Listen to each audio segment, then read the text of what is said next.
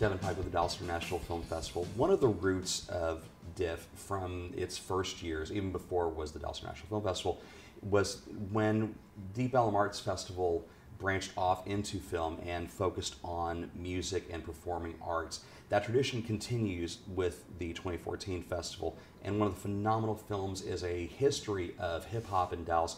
We are Dallas, or we from Dallas. Sorry, I, you know, I, I had the first part of the intro in, but you know, we, we won't fix it in the edit. I started out my career at the Dallas Observer, and I was there in the late '80s and early '90s to see a lot of the bands you guys focus on as part of the film. First off, phenomenal job in chronicling a scene that people don't really give enough credit for here in town. Uh, Teddy, uh, Teddy Colangelo here, guys. First off, talk a little bit about when you first started assembling footage, saying we've got to put this together as a documentary. Well, it it started actually as a, uh, uh, more of a graffiti and street art project. Uh, we were really just kind of putting something together that was more of a visual piece for people that were coming to a nightclub or a different event, just really to look at. And the audio was wasn't even really uh, our, our point. It was just something to look at. So, but as it built and as we started doing these these interviews, and it just started to snowball, and there was a couple other small events along the way that just we decided to open the whole scope to the whole hip hop culture, and uh, you know, and it just snowballed. It just kept building, and just like the the deeper we dug, the the bigger you know, the, the larger the snowball got, and it just it just started taking on life all its own. And even the the title, the "We from Dallas," it's you know it's it's grammatically correct to its audience. You know, that's what uh, Easy Eddie D said to us, and because it, it is an interesting, you know, it's kind of it's a not right thing. We get the "We are Dallas" a lot of people like fixing it on their own, but uh, it, it's just it's funny. It's grammatically correct to its audience and to its people. So when you were first approaching these artists who some of them are still recording today some of them have, mm-hmm. have gone on to you know basically day jobs or gone away from their career was there one artist that you wanted to once you got into the production where you said we've got to get this person was there one that you didn't get was there one that got away yeah um, the biggest, I guess, the biggest fish. There was a lot of, of course, the list was big. I mean, it was trying to get all those names. Somehow we all worked out everyone, but you know, we really wish we could have got Erykah Badu on, you know, speaking about it, and uh, just because her early projects, you know, it, going back, she's referenced by a number of people as, you know, seeing her as a young little girl and just. I mean, they remember her coming up through the scene, through the Dallas music scene, and you know her branching off into other areas. So understandably so. She's not noted for you know making hip hop per se, you know, but she has an influence on the culture and the people that were here. So it was like trying to get just to some of her uh, reminiscent moments of back then. You know, that'd have been nice to kind of have. And it was cool in going through the film. You know, our other co-producer, uh, Islam Salem, each of us uh, are passionate almost about a different branch of hip hop like Joel was was very passionate about getting making sure the Southern culture was represented right alongside the more elemental hip hop culture, whereas Islam was more, uh, you know, definitely instrumental in getting the graffiti involved and getting the breakdancers involved. So everybody kind of championed their own and had their own artists that they were very passionate about pursuing and, and getting in the film. But yeah, Erykah, all three of us wanted Erykah pretty bad. was there was there almost I mean was there heated arguments in the edit suite where this piece needs to be longer. We need more of this element. And nothing ever got heated. We'd all we'd just sit there and just pick at it and go over it and you know and it would always be the, the simplest suggestions that later on you know the next day i'd call them up and be like it worked you know, everybody come over and watch it you know now there's a lot of great archival footage you know, just people who are you know, shooting it in handy cams and clubs like, or, or, you know, not just Dada and Trees, but the clubs that have been long gone from Ellum for a long time, and then um, the current renditions be like stuff that's going on in the South Side lots or mm-hmm. um, or Oak Cliff social areas like that. Were you surprised at the width and breadth of the archival stuff you were able to get from these artists? we, we, we were uh, very happy with everything we were able to come up with, and we do wish if there was one thing we could add to the film that we would go back and do before we released it beyond the festivals, it would be to add more archival footage. Being able to find more of that and to really take you there and, and put you in that era is, is probably the most important thing with a documentary like this. And uh, we, we were very happy to, to get uh, footage from City Lights and footage from Jeff Liles of Trees and of Deep Ellum and footage from Frank Campagna of the old murals. And we, uh, we definitely did our due diligence, but uh, more as always. Well, you know. Talk a little about as you as you're assembling the, the bits. What was the, the there? There's got to be one moment for each of you where you're you're you're in the edit suite. You're looking at it going, that's that's the movie for me. That's the one thing. If I have to show this to anybody, this is what I would show them. Uh, I think what ended up playing out, I think that we started off with some different ideas, but what ended up playing out was more of the 80s and just the early documentation of setting out, you know, really putting out there who these people were and the founding people were in Dallas hip hop. I mean, that's it's a good, you know, portion of the project and the movie. So I think that ended up playing out. We were like, we have to have this part. We have to explain in order to to move forward in the story and, and tell it. Like this has to be established. It might be longer than we might cut some other things short, but you know, having the foundation, we needed to have that explained bottom line. And we, we toyed we toyed with it, moving around like how we're introducing it and how it's all relative to people and not just Dallas, but and how to introduce that. But uh, I think for me, I don't know, maybe for us too, we just that was that was a that's what it seemed like. It was like '80s. Got to talk about that, no matter what. Yeah, and it definitely, uh, I mean, it didn't start that way. That was just a shift through the filming. We honestly thought that it all kind of started in the, you know, early 90s, maybe a little bit in the 80s, but we weren't really going to, you know, get that much into it, and our focus was going to be more the 90s and the 2000s. And we shot for that, you know, our interviews, our talk to people all the way up through, you know, 2010. I mean, we had no idea what we were going to get out of the footage, so we just talked about everything. The interviews would be horrendously long. It's like two or three hours just of sitting there just talking. But it was great hearing all these stories and learning so much about the city and just, and you know, these these people have become our friends. And what's what's crazy is you know to see them out, you know, just out and about. And you know, I've met this guy maybe one time, but it was for this three-hour interview. But I sit and watch him daily. So like I feel like I know this person very well, and they like they barely remember me or something. It's kind of funny. Well, they'll remember you once the you know if the ancillary.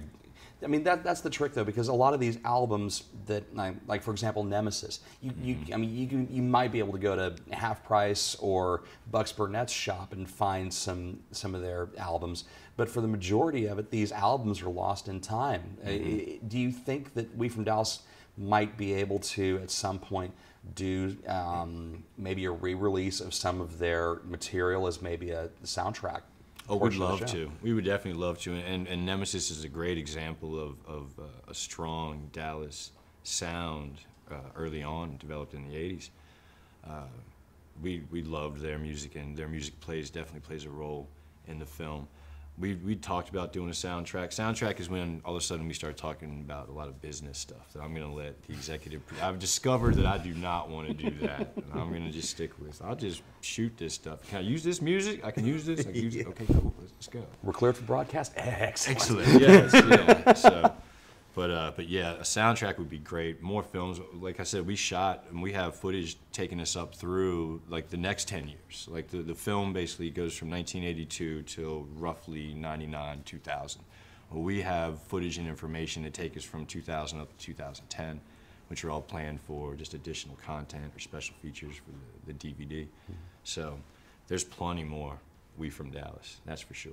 We, we, we still from Dallas. That's it. we, we all from Dallas. I have no problem with that. Um, I was just having. I mean, I, I, I love the film just because it was a it was a unique time for people who loved music, not just not just hip hop, but really everything was happening.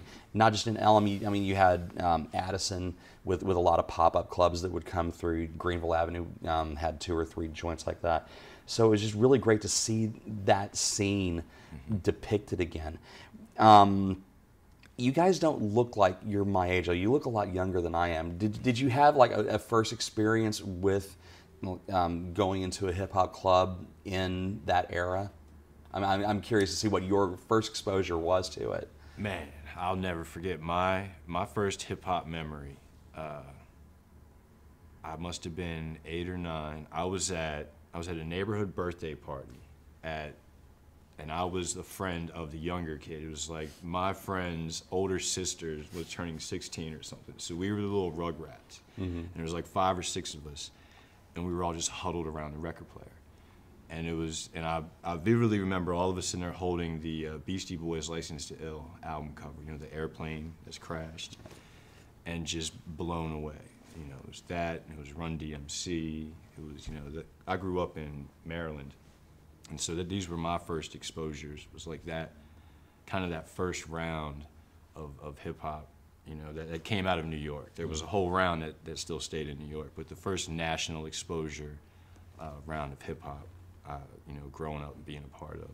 So hip hop's always been there for me. Hip hop but just along like you're saying these other cultures too punk rock was huge and the whole alternative thing was happening too. Like music always played a huge role for me in my life and to uh, you know, through learn the way I learned filmmaking is through music. I just decided to pick up a camera, so I just started shooting music videos because I knew people around for that, and that made sense to me.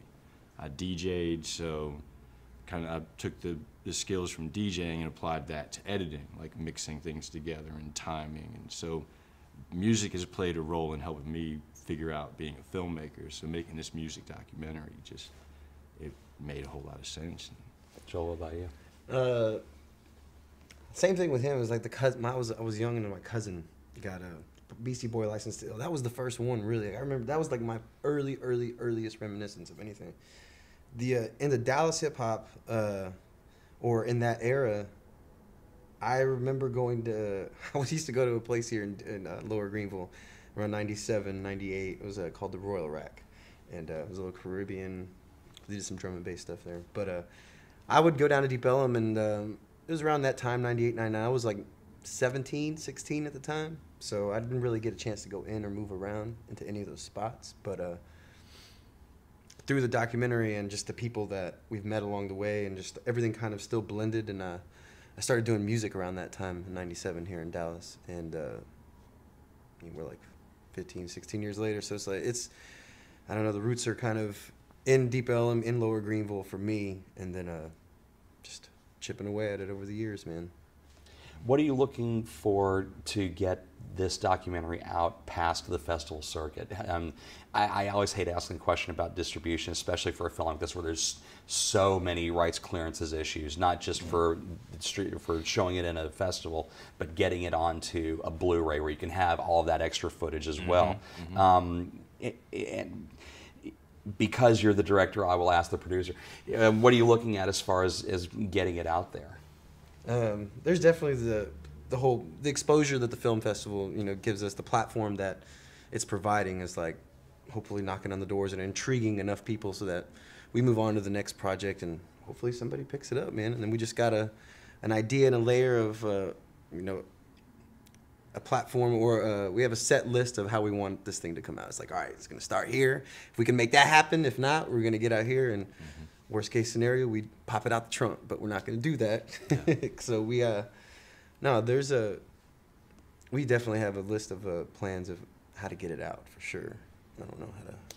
Yeah, I got lost in that one. I mean, it's it's it's, it's hip hop, so we're gonna do whatever we have to. Uh, we've got a couple more festivals that we're thinking about hitting uh, we'll let the executives deal with any kind of distribution deal, but at the end of the day, we'll, we'll just sell it out of the trunk. And uh, our real goal, I think, is to do another one, to do just another film. I think we all, you know, are hooked now that we've done one. And it's just like, what's next? It's kind of a formula. We, we kind of looked at it and we're like, all right, we need to definitely know what to do next time. Yeah. yeah. next time, yeah. You made all the mistakes out of this one. yeah. I mean, we did this totally backwards. We yeah. just started shooting and then decided what film we were going to make. So then, then it was like halfway through the film is when we like stopped and did the research that we should have done. But but it's that type of thing that if you had done that research in the beginning, it would have scared you out of making the film, and it would have never been done. You know, it's always just jump in the fire, and learn how not to get burned as opposed to just you know watch it. So. The trick is to get out here and actually see this film. It is a phenomenal document of a story that I don't think a lot of people who even are listening to hip hop today understand that Dallas has, has had and continues to have an amazing community of artists. We from Dallas, come see it. You can find out more information at dallasfilm.org. Uh, what's the uh, website for the film? Uh, It's, I guess our Facebook. Yeah, it's Twitter. facebook.com backslash we from Dallas. All right. Yeah. Check it out. Gentlemen, thank you so much for bringing this film to us, and thanks for putting in the work and deciding to scrap everything and start from scratch and make it a really great documentary. Thank you, Thank guys. you. Appreciate it. Thank you.